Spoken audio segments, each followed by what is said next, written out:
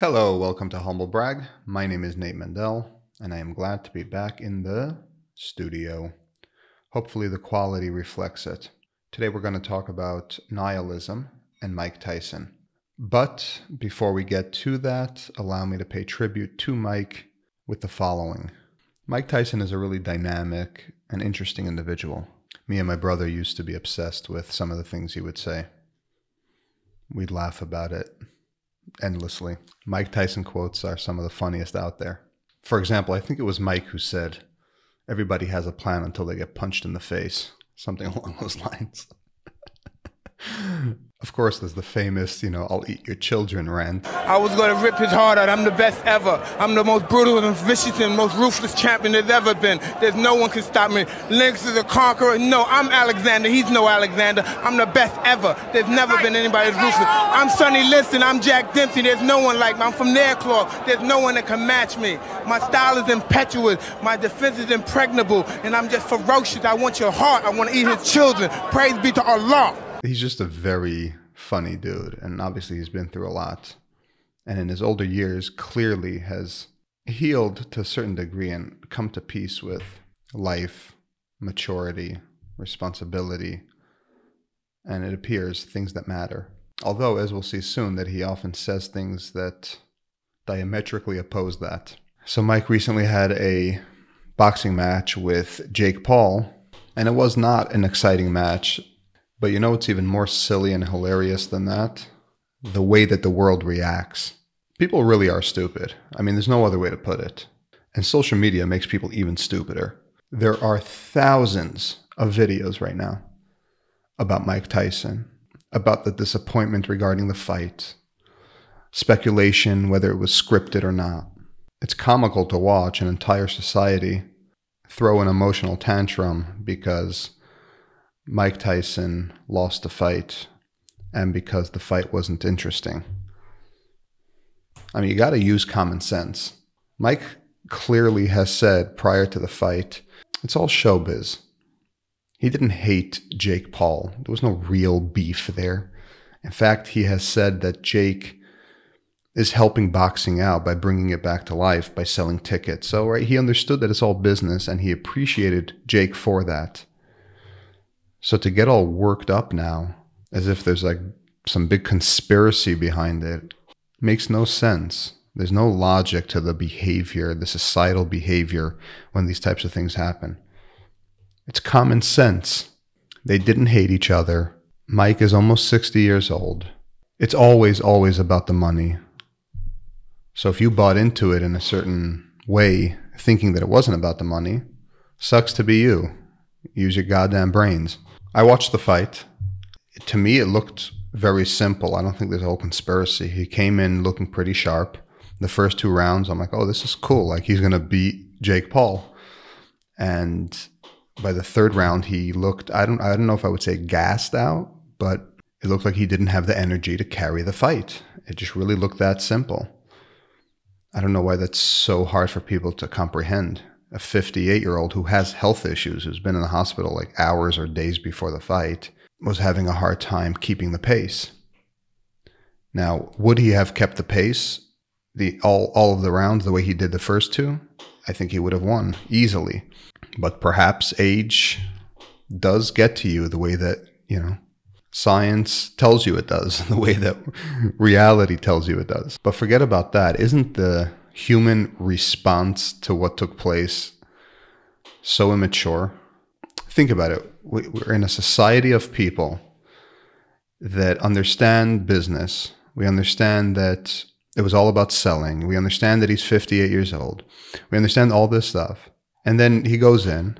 It turns out to be not a great fight and everyone's like, "Oh my god, this was nuts!" Like the whole world is turned over because it was not a great fight. Like, why do we even react to this type of stuff that way? I don't, I don't understand it.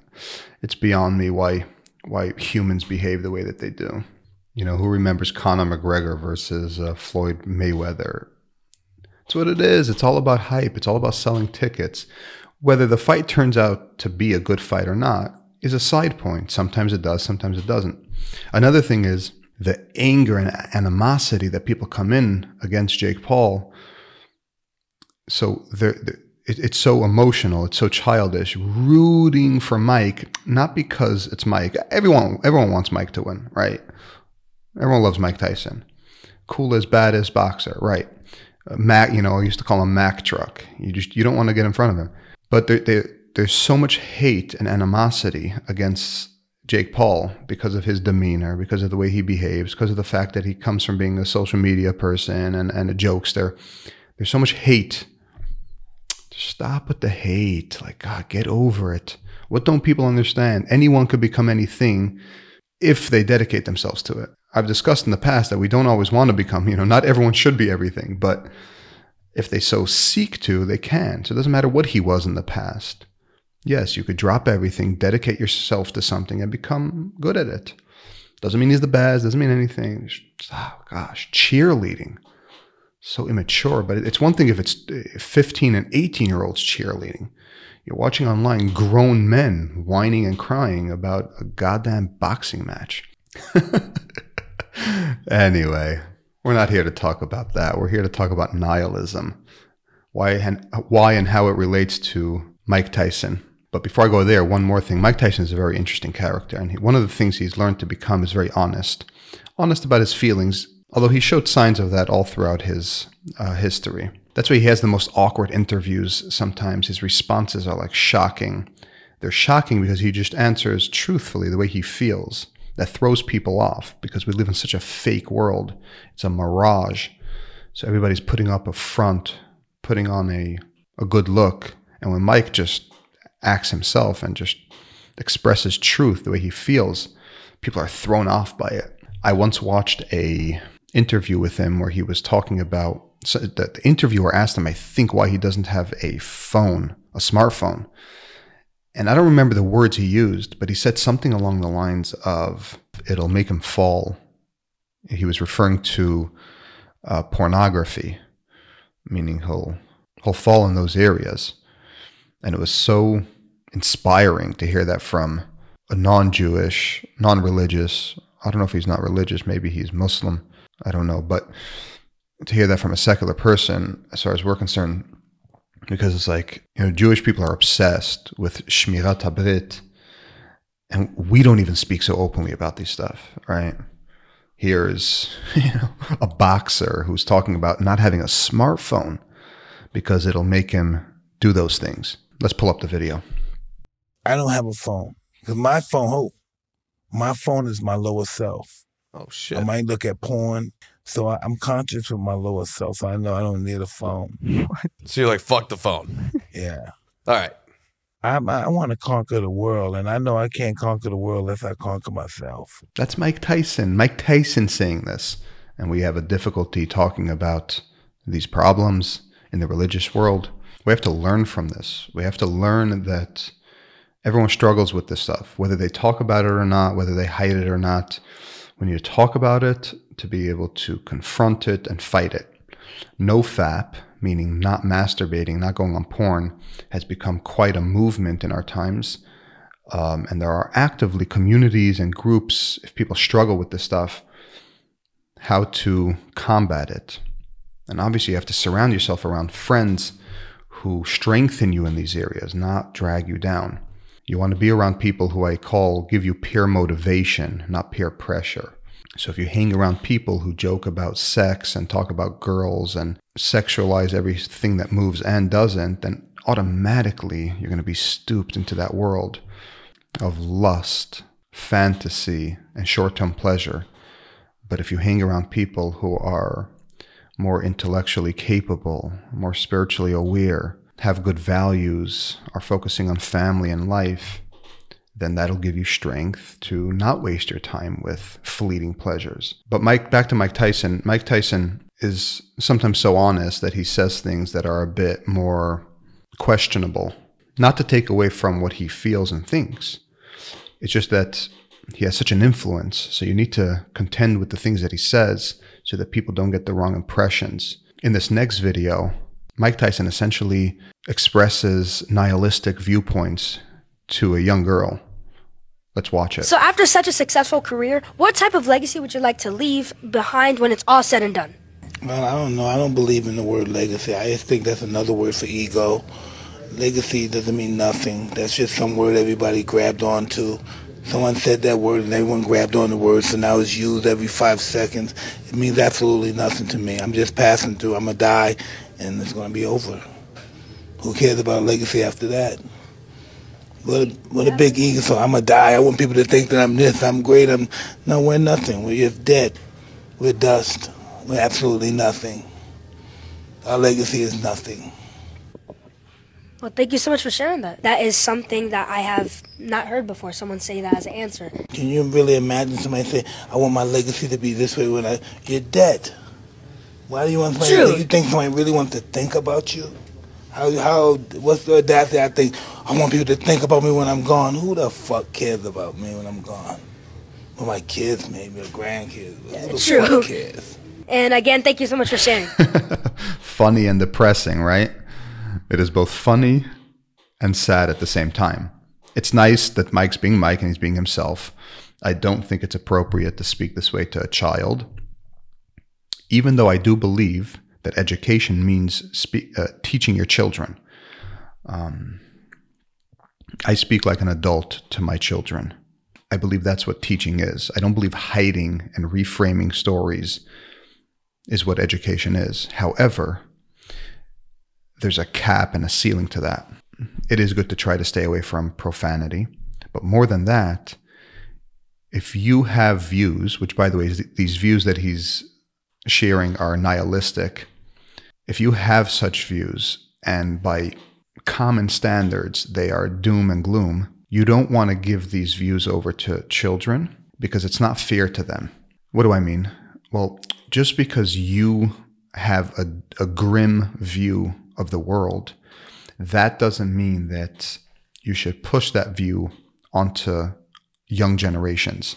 Having a grim view of life and of this world when you're young could lead to feelings of worthlessness and pointlessness, which could then lead a, a, a child as they grow up into teenage and, and young adults to things like suicide, heaven forbid, depression, because and drugs, of course, because if it, if everything's BS and there's no meaning or purpose to anything, then why not indulge in these things or why not end it? So let me just read off of Wikipedia for a moment for those who don't know what nihilism essentially is. In philosophy, nihilism is any viewpoint or a family of views that rejects generally accepted fundamental aspects of human existence namely, knowledge, morality, or meaning. There have been different nihilist positions, including that human values are baseless, that life is meaningless, that knowledge is impossible, or that some other highly regarded concepts are in fact meaningless or pointless. The term was popularized by Ivan Turgenev, and more specifically by his character Bazarov in the novel fathers and sons. And then it goes on to explain that the term has become very broad. So there's debate whether it encompasses a cohesive philosophy or, or, if anything that has nihilistic ingredients kind of falls under the umbrella. And indeed, that's how it is used in our society, the term that is. Anytime somebody expresses or has an opinion that is by nature um, expressing ideas such that life is purposeless, this world is purposeless, anything meaningless, all that, it kind of falls under that umbrella. These are very dangerous views to hold. They are not correct. They do not align with truth. They oppose religious outlook. They oppose uh, Jewish thought, and they oppose pretty much uh, most thoughts. They they oppose pretty much most schools of thought. Um, besides for some areas in like nominalism, skepticism, philosophical pessimism, so on and so forth. But the majority of the world and the general consensus does not align with nihilistic views. Nihilism is wrong on two fronts the practical front and the philosophical front. On the practical front, everything about life is the opposite of purposeless. Everything we do has purpose, or at least it should. In fact, the things that we do that don't have purpose are the things that destroy us, like sitting and watching TikToks, scrolling through social media day and night. That's purposeless. that destroys us. But everything that we do that yields net positive value is the opposite of nihilistic. It has deep meaning and purpose. We laugh for a purpose. We hug for a purpose. We love for a purpose. We get married. We have children. Everything we do has purpose. We plant seeds in the ground, agriculture for a purpose. We build technology for a purpose. On that level alone, not even getting into the philosophical endgame ideas, on that level alone, nihilism is out the window because everything has purpose. Birds and wildebeest migrate for a purpose. It rains for a purpose, it's windy for a purpose, it's cold for a purpose, it's hot for a purpose. Everything is infused with purpose. The three principles of Amuna, of a complete faith, are that Hashem does everything, God does everything. Everything that God does is for a purpose, and everything that happens is for our ultimate good. So if you learn the principles of faith, all three of its pillars diametrically oppose nihilism. But again, we don't have to get philosophical about it. Let's just be practical. If you're a mature, healthy human being, what things during the day in your life do you do for no purpose? Hopefully, very little bit. And that's because the world is infused with purpose. Purpose is what drives absolutely everything. Purpose is what essentially allows evolution to take place. Survival of the fittest, think about that. What got us to here? Purpose. Following the things that had purpose got us to where we are. We have a strong intellect and intelligence because we followed the path of purpose, so to speak. So nihilism on a practical level makes utterly no sense. And on a philosophical level, we are dealing with the same logic. Really, it trickles down. So the purpose that I just explained on a practical level, you understand on a practical level, but really it trickles down from philosophical, idealistic, and truth based, God based purpose. That's why everything is purposeful down here. Whether we understand the purpose or not is a different story. With time, with science, with exploration, we come to learn about the deep, deep purpose in everything, every function, every faculty. Why this happens, why that happens, how things work, how the universe works, how there's a connection to sea turtle and stardust. Just absolutely fascinating stuff. But that's because we search and we search and we search. But just because we haven't figured out the purpose of every individual thing doesn't mean that it doesn't have. As I explained, the opposite is true. Everything that endures, it endures because it has purpose.